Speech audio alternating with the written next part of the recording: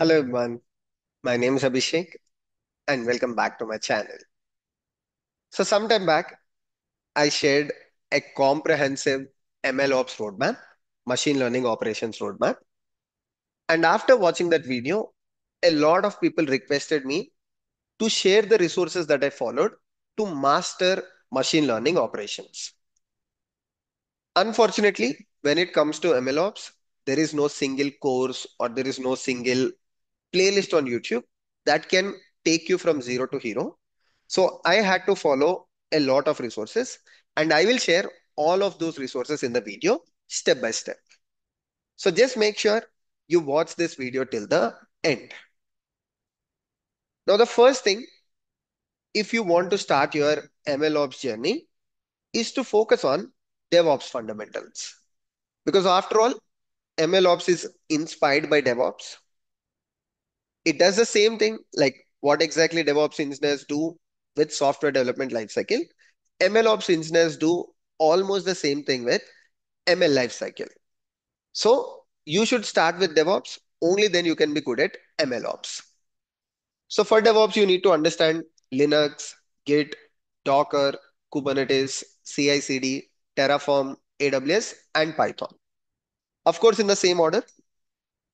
And you all know if you want to master these things for free, so you can just head to our channel. You can go to the courses section and you will find everything absolutely free of cost. All of them are zero to hero resources. So I'll not stress more on the DevOps fundamentals part because they're already available on our channel. Now, the next thing that you need to learn is ML fundamentals. But why do you need to know ML fundamentals if you want to become an MLOps engineer? So basically, as I told you, MLOps engineers reduce the operations with machine learning lifecycle. So basically in your machine learning lifecycle, there are various stages that are involved. For example, data gathering, cleaning of data or, you know, uh, experiment tracking, then model development, model build, model deployment, model monitoring, retraining of the model. So there are various stages that are involved within machine learning lifecycle. And the responsibility of the MLOps engineer is to reduce the operations or manual effort that is involved within this lifecycle. Now you can only do it if you understand what is this lifecycle and what are various stages within this lifecycle. What happens across different stages of the lifecycle. Now, if you're a DevOps engineer, you already know different stages of SDLC. Same thing you have to do with MLOps as well. So for that, you have to understand what is model development, what is experiment tracking, how data management works, continual learning works, model deployment, model monitoring, model retraining, and project management. End of the day, how the entire project is managed. Now, if you want to learn these resources, one of the finest resources that I came across is full stack deep learning. So this is a free uh, training material. I did not even have to log into it. I just have to follow the content here. And it covered pretty much a lot of things. Uh, experiment management, what exactly it is, what is data management, how models are deployed in real time, what is continual learning. A lot of things are covered as part of full stack deep learning. Otherwise, I also refer to a YouTube playlist. So this is machine learning uh, related YouTube playlist by Krish Naik. So this is a six hours uh, video course, or you can also follow Krish Naik's playlist. This also covers a lot of fundamentals of machine learning. If you want to become MLOps engineer, these basics are enough. But if you want to become ML engineer, you have to deep dive more. That's the fine difference between MLOps and ML. So MLOps engineer does not really have to understand how to write the model or they don't have to write the model. They don't have to dig deep dive into uh, developing the whole model, but understand the entire life cycle. Now, the next step, once you're done with understanding the fundamentals, is data version control. Just like traditionally how we do source code control, right? Through the version control systems like Git, you also need to set up data version control. But the main problem here is that source code files are usually uh, small in size. They are usually in MBs. In very rare cases, they go to GBs. But when you are dealing with data, you are dealing with large data files. So usually Git is not preferred as a version control system. So you need to know how to deal with large data files outside Git. And you also need to learn how to perform experiment management and reproducibility. So for this, DVC is very popularly used. And for DVC, I found the DVC documentation very useful. So I just had to go through this documentation. Everything is uh, provided in the order. What is DVC, how to install it on Mac. I was using Mac and also uh, examples using Python reference. Everything is available in the DVC documentation. Then once DVC is done, you know, I'm going according to the roadmap, according to the steps that I followed. Even if you watched my uh, MLOps roadmap, you would have seen the same order for learning resources. So the next thing is track experiments and model registry. See, end of the day, once you have the model, uh, once you build the model, you have to store these models in a registry and you also have to perform experiments. You have to track the experiments. So for that, the popular tools out there are MLflow. It will also help you with hyperparameter tuning. It helps you with deep learning. And as I told you, you also need to have understanding of the model registry. Now you can learn these things. Personally, I followed this playlist on YouTube. So it's called MLOps Zoomcamp. This is a very huge playlist, but you know there is a section that covers uh, MLflow. So I just went through the videos that are related to MLflow and videos that covered hyperparameter tuning because it was tough to follow the documentation for hyperparameter tuning. So I had to also go through these videos to understand it better. Then the most important part is CI plus CD plus CT. So if you are a DevOps engineer, you already know what is CI and what is CD. But when it comes to uh, MLOps, there is also something called as continuous training. Very simple. Whenever developers or you know ML engineers develop a model, they initially train it with some amount of data or certain data. As the new data keeps coming in, unfortunately, the efficiency of the model goes down. Usually people confuse at this part. They think more amount of data, the efficiency of the model is high. But on contrary, initially when you train the model, you train it with certain amount of data or certain data. As the new data keeps coming in, the efficiency of the model goes down. So you have to continuously train the model on the new data as well. Only then the efficiency of the model goes high. So when it comes to MLOps engineer, unlike continuous integration and continuous development, continuous training is also required. You can also use GitHub Actions for this. If you come from DevOps background, you might be using GitHub Actions. Same GitHub Actions can be used with MLOps as well. However, the popular tool out there is Kubeflow pipelines. In general, you can learn Kubeflow in entire, but Kubeflow has a lot of components. If you're focusing on CI plus CD plus CT, you can only go with Kubeflow pipelines. Now, if you want to learn Kubeflow pipelines, very simple. You can just go to my playlist. So I have MLOps playlist on the channel.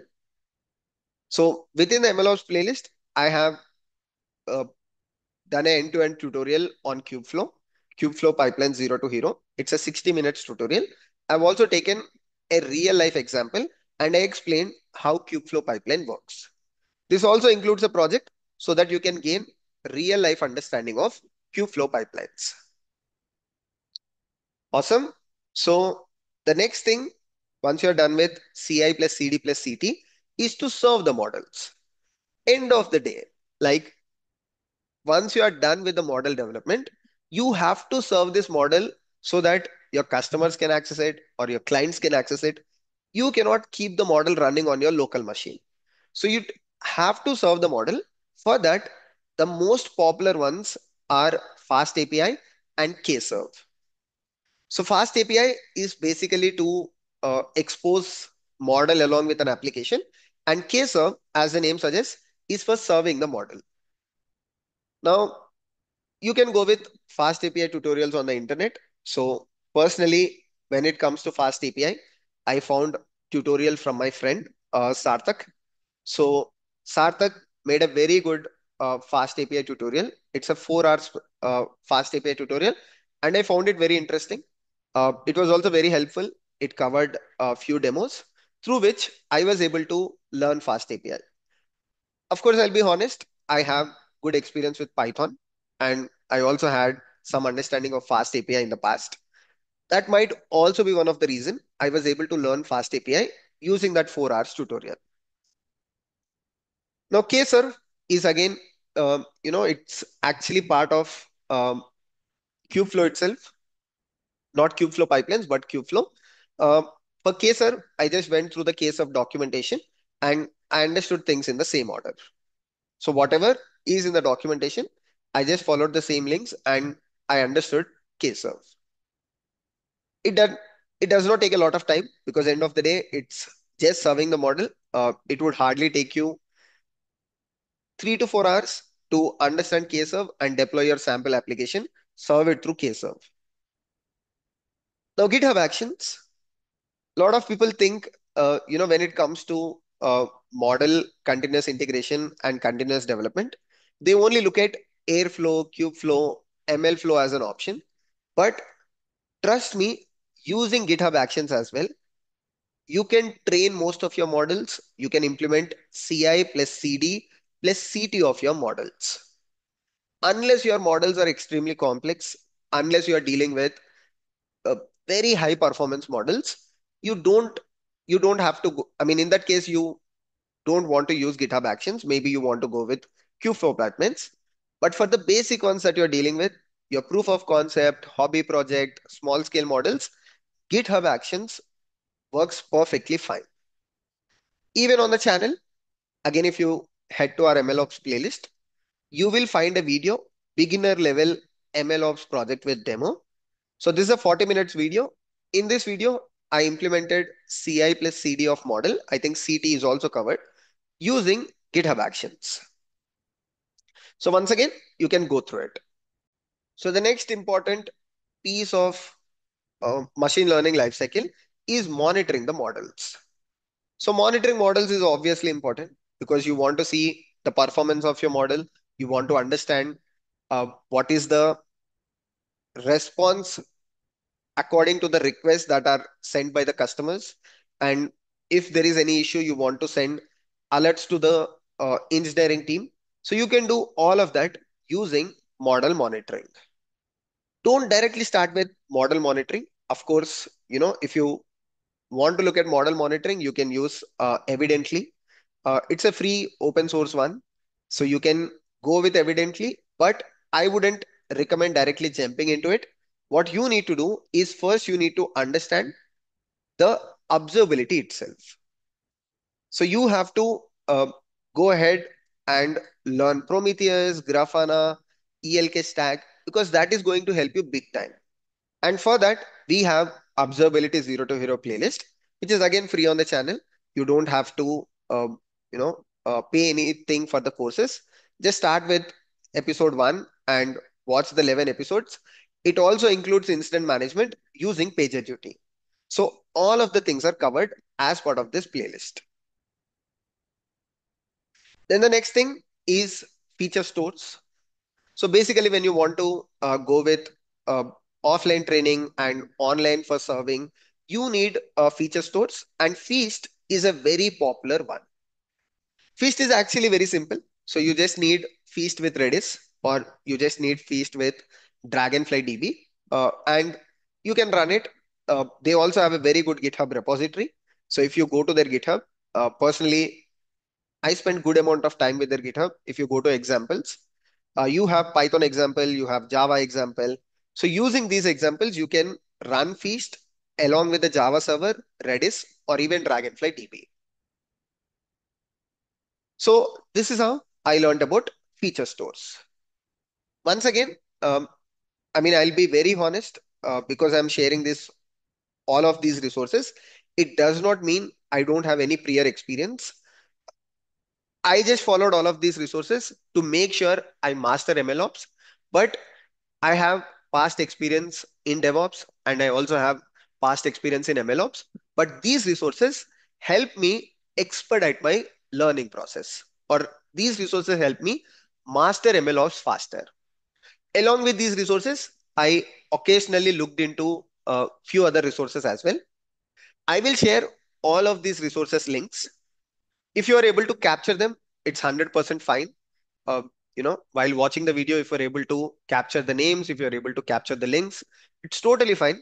But if you want the links to these resources, because there are so many resources, I cannot put this in the YouTube description, but I will share link to our free newsletter. So I'll put the newsletter link in the description.